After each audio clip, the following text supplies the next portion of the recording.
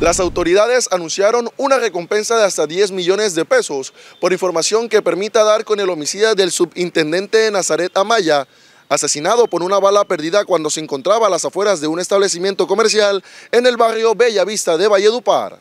En menos de 24 horas, la policía en el departamento del Cesar sufrió la pérdida de dos uniformados en atentados criminales, hechos aislados que encienden las alertas de las autoridades que buscan hacerle frente a la criminalidad en el territorio. El más reciente caso se registró la noche del pasado sábado, donde perdió la vida el subintendente Nazaret Enrique Amaya Castilla, de 38 años, quien ejercía funciones en el área de talento humano de la policía y tenía 19 años de servicio en la institución policial. El uniformado recibió un disparo cuando se encontraba en la terraza de su casa en la urbanización Bellavista de esta capital. Se pudo conocer que el ataque no iba dirigido al uniformado, quien se encontraba de descanso, sino a un ciudadano que estaba en la tienda del sector hasta donde llegaron dos sujetos con el propósito de acabar con su vida. Sin embargo, esta persona se percató y salió huyendo, por lo que uno de los sicarios realizó varios disparos y uno alcanzó al policía que estaba departiendo con sus familiares en la terraza de su vivienda. Amaya fue trasladado al hospital Eduardo Arredondo Daza, sede La Nevada, en donde falleció a causa de un proyectil en el pecho. El hombre, a quien iba dirigido el atentado sicarial, resultó herido en uno de los brazos y se encuentra recibiendo atención en un centro asistencial de la ciudad. La Policía Metropolitana de Valledupar, a través de un comunicado, rechazó este hecho de sangre y lamentó la baja de uno de sus uniformados que disfrutaba de su día de descanso. Asimismo, informaron que la persona que resultó herida y quien iba dirigido el atentado criminal presenta antecedentes criminales por delitos como porte ilegal de armas de fuego y tráfico de estupefacientes. En videos de las cámaras de seguridad instaladas en el sector, quedó grabado el momento en el que el sicario llega al lugar, dispara y sale huyendo, siendo grabado el rostro en los videos, que están en manos de los investigadores que buscan por cielo y tierra al criminal del uniformado.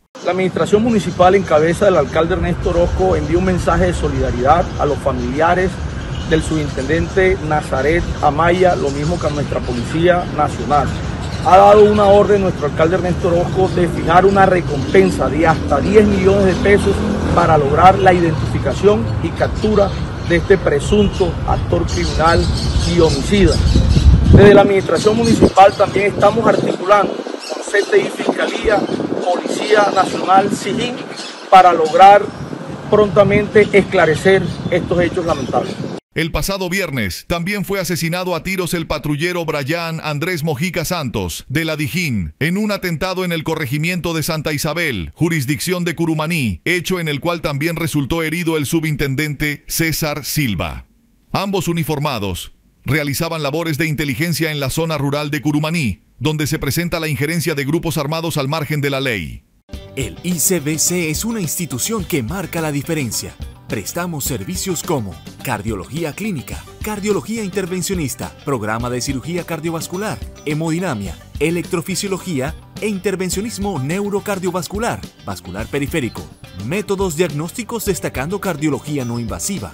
Además, contamos con el servicio de unidad de cuidados intensivos y hospitalización, un equipo humano comprometido en el cuidado y monitoreo de nuestros pacientes, brindando un servicio oportuno según la necesidad.